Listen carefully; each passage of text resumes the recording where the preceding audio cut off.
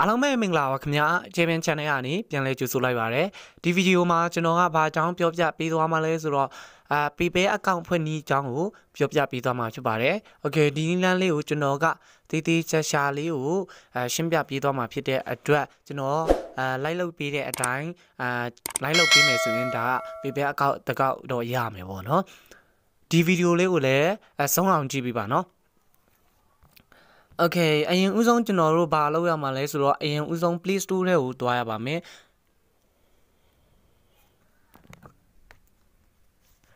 Okay Play Store search box နေရာရောက်သွားပြီဆိုရင်ဘာရှာရမှာလဲဆိုတော့ T E M P tab M U M B E R tab number လို့ရှာပြလိုက်ပါ Okay ဒီတစ်ခုလေးဖြစ်ပါတယ်အဲ့ဒီတစ်ခုလေးကိုကျွန်တော်တို့က install လုပ်ပေးရမယ်ပေါ့နော် install လုပ်ပေးပါအရင်ဦးဆုံး Okay install လုပ်ပြီးပြီဆိုရင်ကျွန်တော်ဝင်လိုက်မယ်နော် application တဲ့ကိုကျွန်တော်ဝင်လိုက်ပေးပါမယ်ပထမအဆုံးတစ်ခုပေါ့နော်ပြီးပြီဆိုရင် get free number ဆိုတာလေးကိုနှိပ်ပေးပါ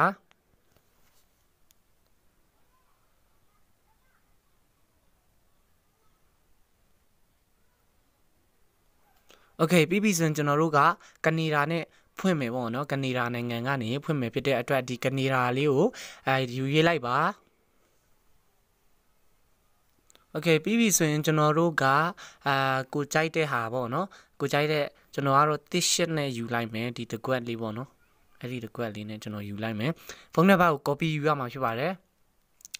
ပြီးပြီဆိုရင်ဒီနေရာလေးကိုနှိပ်ပေးပါဒါကြောညာလာလို့ဒီဟာနေကိုနှိပ်ပေးပါနော် အဲ့ဒီဖုန်းနံပါတ်လေးကို copy နှိပ်လိုက်ပါဒီတိုင်းလေးပဲထားလိုက်ပါဒါဆိုရင်အဲကျွန်တော်တို့ Chrome သွားမှာပေါ့နော် Chrome ကိုသွားပြရပါမယ်အရင်ဒုတိယချက်ကတော့ Chrome သွားပြရမယ်ပေါ့နော် Chrome search box နေရာလေးမှာကျွန်တော်တို့ကဘာရှာမှာလဲဆိုတော့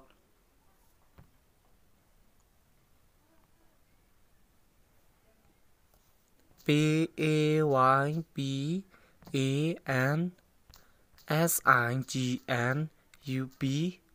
ဒီ pay sign up လို့ရှာပေးပါနော်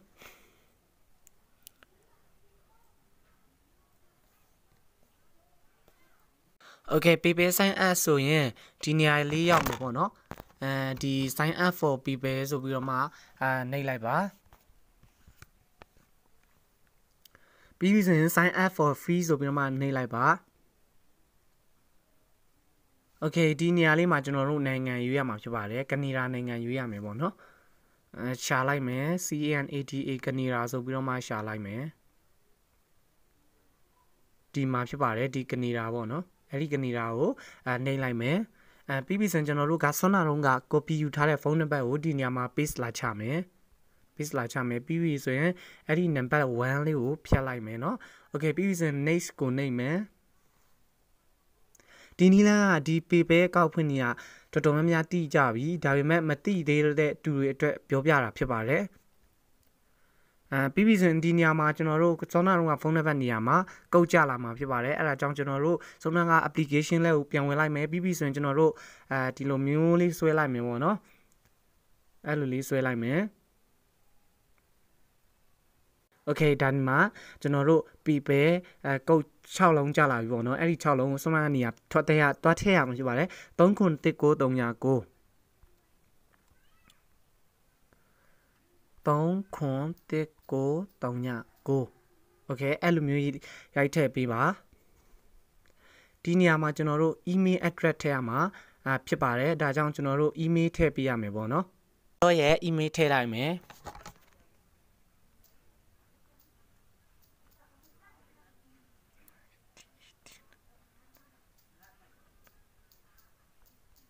ဂျီမေး .com ပြီးပြီဆိုရင်ဒီဒုတိယတစ်ကွက်ကကျွန်တော်တို့ရဲ့ပထမအမည်ပေါ့နော်အဲပထမအမည်ဖြစ်ပါတယ်ထည့်ရမှာဖြစ်ပါတယ်ကိုယ့်ရဲ့နာမည်ပထမတစ်လုံးပေါ့နော်ထည့်ရမှာဖြစ်ပါတယ်အဲ middle name ကိုတော့ကျွန်တော်တို့အ နမည်နှလုံးရှိရင်တော့ကျွန်တော်တို့ကအာသုံးလုံးရှိတော့ middle name မှာအလေကကျွန်တော်တို့နမည်အလေလုံးရေးရမှာဖြစ်ပါတယ်အဲကျွန်တော်တို့နှလုံးထဲရှိဆိုတော့ middle name နေရာမှာကျွန်တော်တို့ရေးစရာမလိုပါဘူး last name နေရာမှာကျွန်တော်တို့တွားထည့်ရမှာဖြစ်ပါတယ်ဘာတွားထည့်ရမှာလဲဆိုတော့ကိုယ့်ရဲ့နာမည်နောက်ဆုံးတစ်လုံးနှလုံးရှိခဲ့ရင်ပေါ့နော်โอเค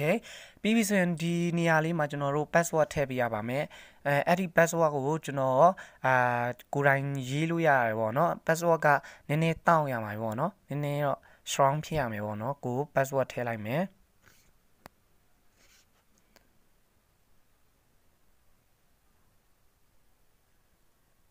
အဲ password ထည့်ရင်လေဒီ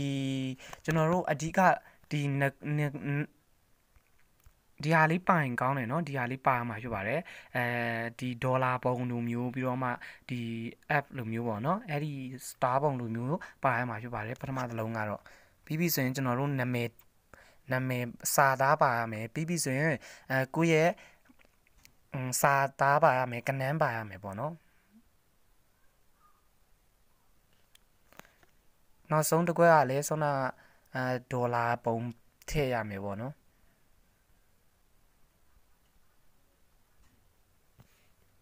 ကဲပြီးစင် next ကိုနေပြီပါ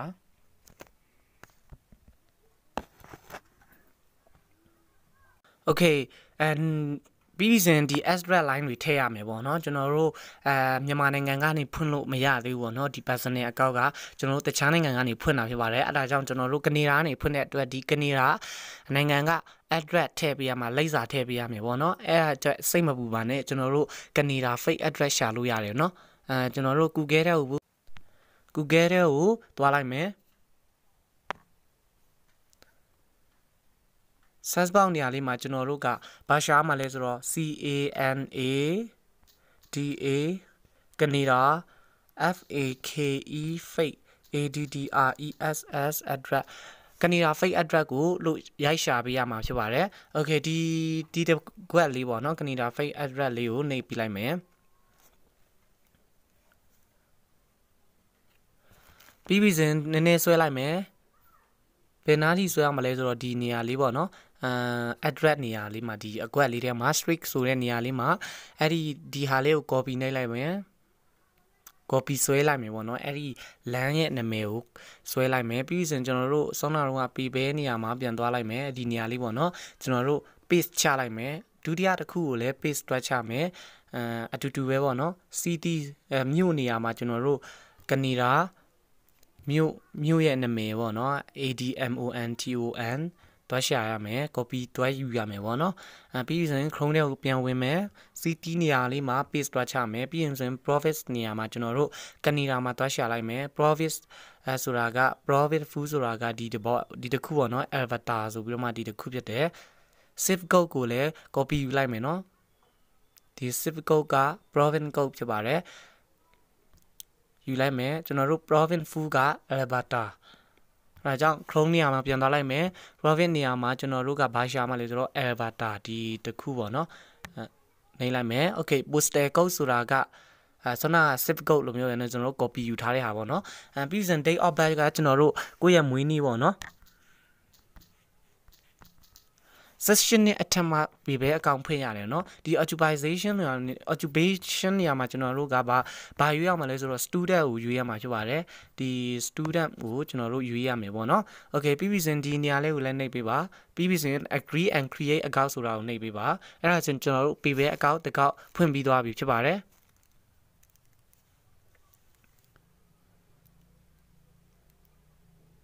အဲ PB မြန်မာဖုန်းနဲ့ပဲထည့်တဲ့နည်းကိုလည်းကျွန်တော်အတင်ပြပေးချင်ပါသေးတယ်เนาะ gap star ကိုနှိပ်လိုက်ပါ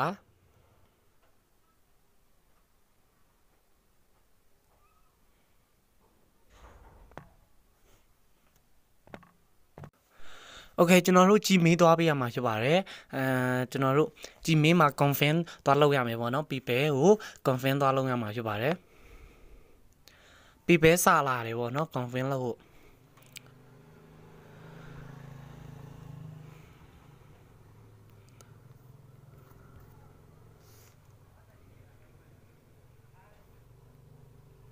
ပြီးပဲ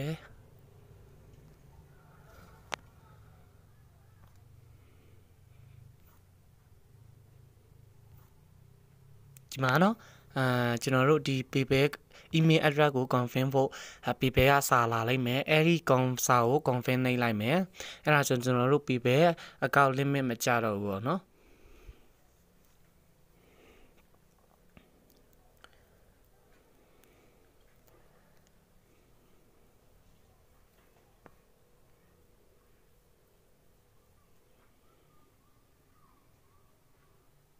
ကျွန်တော်တို့ confirm ပြီးပြီဆိုရင်ကျွန်တော်တို့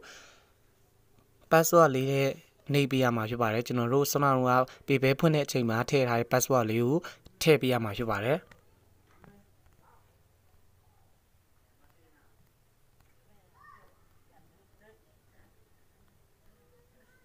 ပြီးရင် confirm my email ကိုထည့်မယ်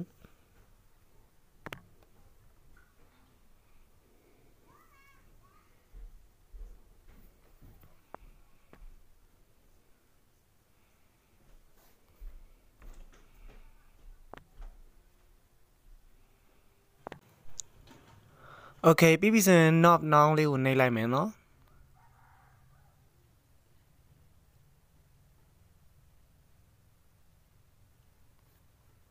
ပြီးပြီဆိုရင် knob now လေးကိုထနှိပ်မယ်အဲအဲ့ဒါဆိုရင် go to my account ဆိုပြီးတော့မှနှိပ်လိုက်မယ်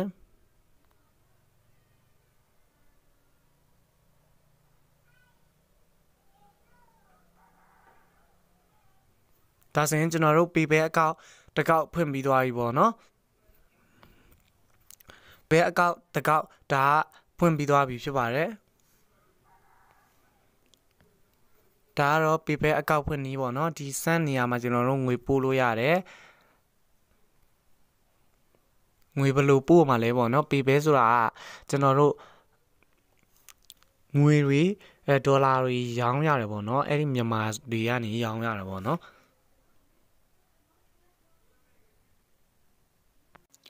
အဲဒီကိုပို့ချင်တဲ့သူကိုပို့ချင်တဲ့ email address ကိုနာမည်နမဟုတ် email address ထည့်ပေးရမှာဖြစ်ပါတယ်ဥပမာကိုဒေါ်လာရောင်းချင်တဲ့သူစီရဲ့သူ့ကိုအဲဥပမာကျွန်တော်ကဒေါ်လာရောင်းချင်တယ်ဆိုရင်သူ့ကိုဒေါင်းရောင်းချင်တယ်ဆိုရင်သူ့ရဲ့ email address ကိုဒီနေရာလေးမှာရိုက်ထည့်ရမှာဖြစ်ပါတယ်เนาะအဲ့ဒီရိုက်ထည့်ရမှာဖြစ်ပါတယ်ပြီးပြီဆိုရင်အဲအစင်းစင်းလောက်သွားပါเนาะအဲ့ဒါဆိုရင်ကျွန်တော်တို့ငွေပို့လို့ရပြီပေါ့เนาะဒီနေ့ကတော့ကျွန်တော်က PayPal account ဖွင့်ဖောက်နီးကိုပြောပြပေးတော့တာဖြစ်ပါတယ်အလုံးအဆင်ပြေကြမယ်လို့မျှော်လင့်ပါတယ် PayPal account ဖွင့်နီးကအရန်ကိုလွယ်ပါတယ်အရန်မခက်ပါဘူးเนาะအဲကျွန်တော် live လုပ်တဲ့အတိုင်း live လုပ်ပေးမယ်ဆိုရင်အလုံးအဆင်ပြေကြမှာပါအာအားလုံး thank you ပါနောက်ဗီဒီယိုမှာထပ်တွေ့ပါအောင်မယ်เนาะ Jimmy channel ကိုလည်း subscribe လုပ်ပေးခဲ့ပါဦးကျေးဇူးအများကြီးတင်ပါတယ်ခင်ဗျာ